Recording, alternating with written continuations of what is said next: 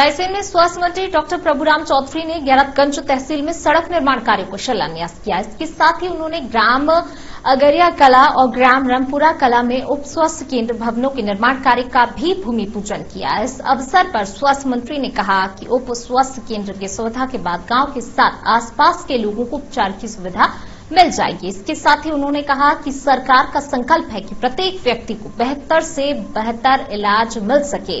कोई भी गरीब व्यक्ति धन के अभाव में इलाज से वंचित न रहे। ये अस्पताल का भवन यहाँ पर स्वीकृत किया है। इसमें उप स्वास्थ्य केंद्र में लगभग एक सौ इकसठ वर्ग मीटर, सत्रह सौ तीस वर्ग फुट इसमें वाल भी रहेगी।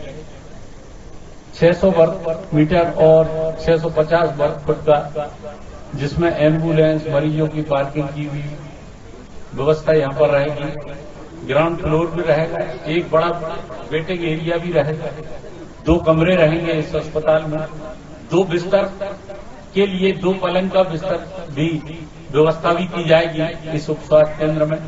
एक क्लिनिक के लिए भी व्यवस्था रहेगी किचन भी रहेगा टॉयलेट रहेगा।